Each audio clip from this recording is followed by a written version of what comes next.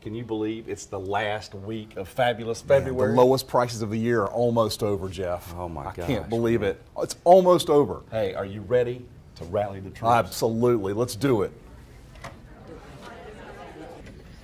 Let's